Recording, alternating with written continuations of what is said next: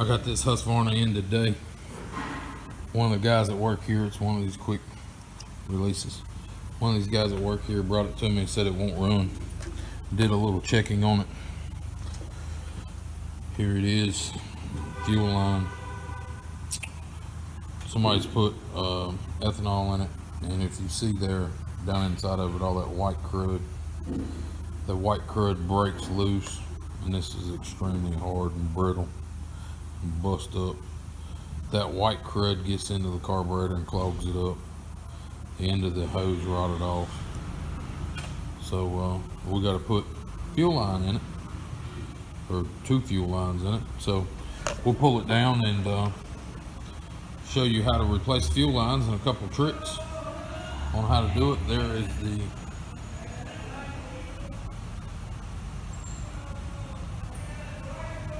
there is the what it is. It's a uh, nice looking little machine. It just won't run. So we'll fix it and uh, I'll show you how we go about that. Show you how to adjust the carburetor and all. Okay, you get your new fuel line here. And this is the way I install it. Obviously, it don't fit through the hole. I mean, it does, but it don't. So, what I do is take and uh, start cutting it.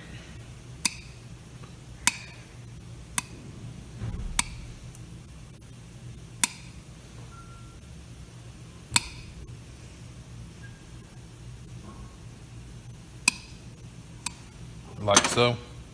Cut it back, just cut the top off of it. We cut it, cut the top of it off. So now, if you look at the end, it will curl a lot tighter.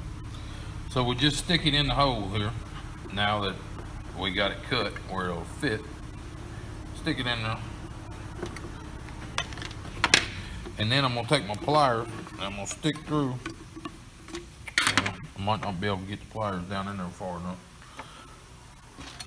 I'm gonna take something and get it going this way. Okay. Now, if you see, I've got it laid that way. So it's laid back this way. Okay, score, hold that again. I'm gonna grab it with my pliers.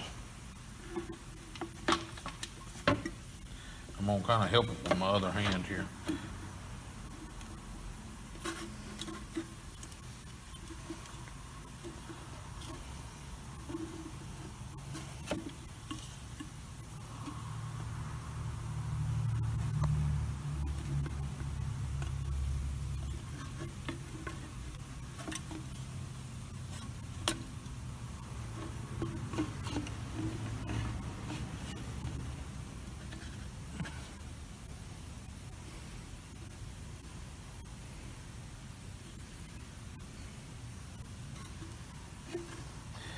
It's got to be extremely tight fit so the gas don't leak.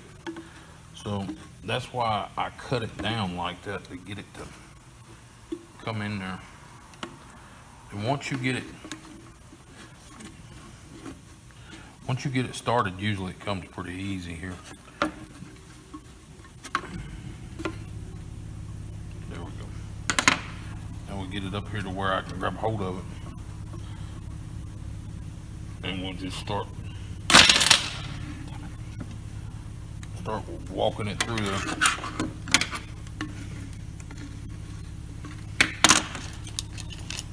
One reason you don't really want to do it with gas in there, but this is a seven dollar a quart gas, so I hate to lose it. All of it anyway.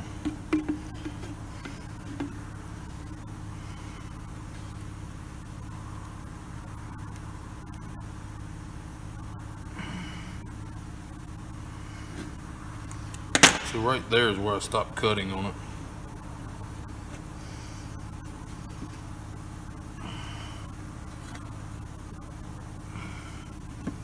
So I'm gonna do it like so. Trim that off. Push that down. Come over here. We're gonna leave a little extra. Trim that, and then we're gonna do it all over again. And we'll do the other line the same way.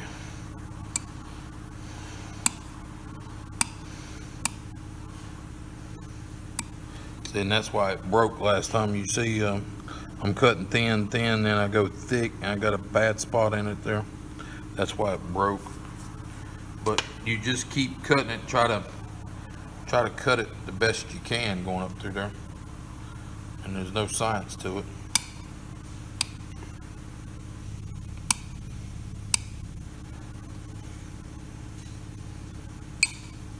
Just keep easing on. I had to do a little longer this time because I'm back behind that other one.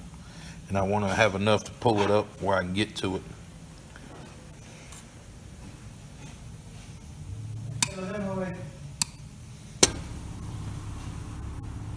There the two are. They're both installed. There's one coming up this way and the other one's laying across down there. So that's how you do it. And these with these gas caps like this, they got a big wing on them. You basically just bend that wing. Hang on, Coral here. Bend that wing, and stick it down in there, and then you lock in. And this one goes back together. This one is a rubber grommet down here that's got to go in your tank. So you, you hook that rubber grommet in like so.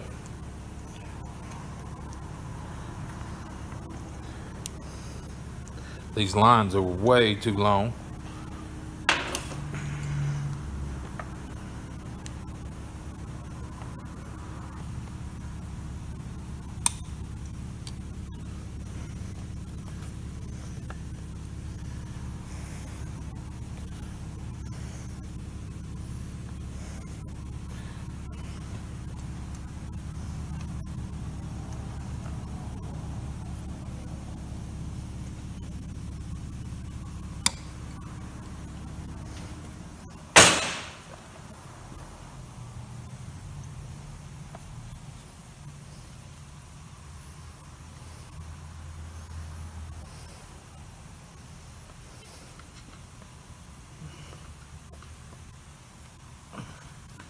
Stick those lines on there.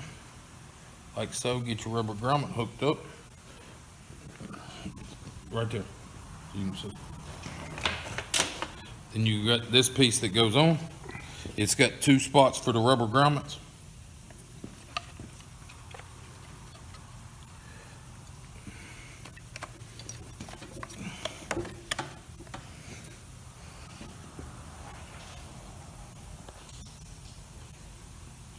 And you've got this piece that goes on over here.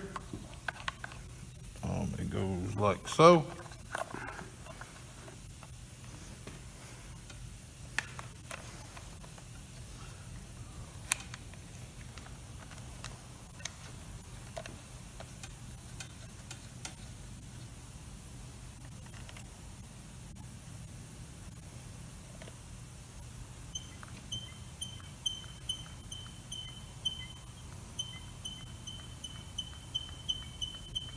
Uh-huh. We'll get back with you as soon as we uh, we get it back together and we'll show you how it runs. Okay, we got it back together. We're gonna see if it runs. It says pump it up here. So we're gonna pump it a few times. Turn choke on.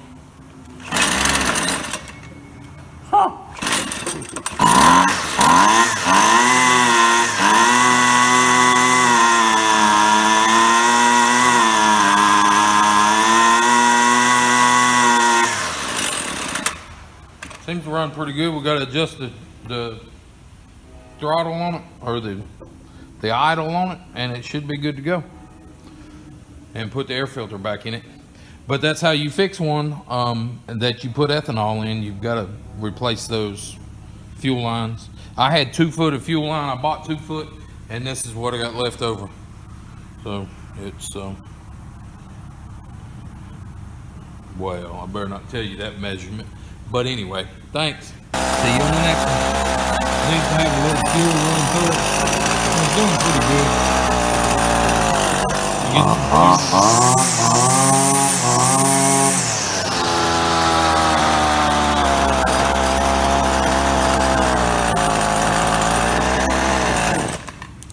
We get some fuel run through it and get the carbon or the the goop build up that's in there burn out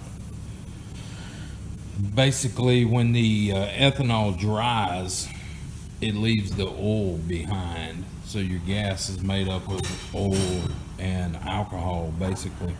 And the alcohol burns off or evaporates, and it leaves an oily residue. Well, that oily residue gets gummed up in the carburetor. And after you run new gas through it for a while, it'll clean that residue out. And as that residue cleans out more and more, it'll run better and better and better. But it's well worth paying the extra money for the true, true fuel. Um, it's a synthetic gas. It doesn't give you half as many problems as the um, pump gas. If you can still get regular gas without ethanol, you're good. Or uh, Stihl makes it, Husqvarna makes it. Uh, everybody makes that true fuel, like what I'm saying here. This is a can of it. It uh, it's just synthetic gas, and it's got uh, I believe it's got a two-year shelf life, and it's already pre-mixed. They've got three or four different mixtures, but it is uh, it's what I've been using in my my personal stuff. Uh, we do not use it here at the shop, but I do use it in all my personal equipment, and it seems to help a lot. Um, it's pretty expensive though. It's uh, six dollars a quart, and if you buy uh, six quarts at a time, it brings it down to like four dollars a quart. So it's still, if you're going to do a lot of it, it's kind of hard to justify it. But if I was going to do a lot, I would probably run regular ethanol fuel through it and then chase it with that. So when it's sit up over the winter, it'll have that good stuff in it where it won't evaporate out. But that one's ready to go and uh, it's ready for somebody to run it for another couple seasons. This is a buddy of mine, so I just went ahead and uh, I fixed it for him.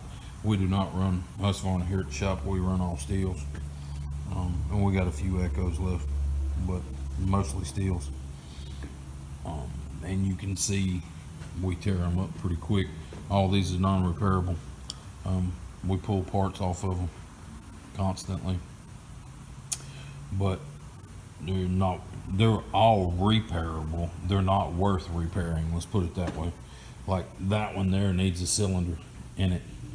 Well, that cylinder costs over half of what the machine costs. So we'll just leave it there, and when the guy rips a uh, strap off another one, we'll pull it, or you know, knock a hole in the gas tank, we'll pull it, or the muffler goes bad, we'll pull it, stuff like that. So that's what we do to all those. Comment, rate, subscribe to us, and uh, give us a thumbs up. It helps the channel a lot. Um, subscribe if you haven't already, and we'll catch you on the next one.